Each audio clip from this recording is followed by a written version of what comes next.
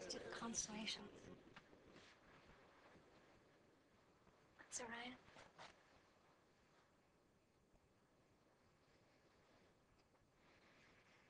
Francis, tell me the most amazing thing you've ever heard.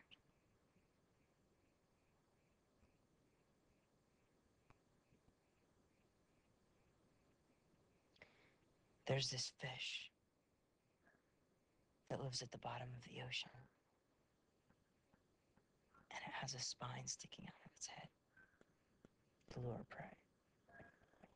The females are the glowing ones, the males are smaller. After the male fish hatch, they bite onto the female. They're like parasites. But after a while, they grow into each other and they share the same blood and everything. They turn into one single fish.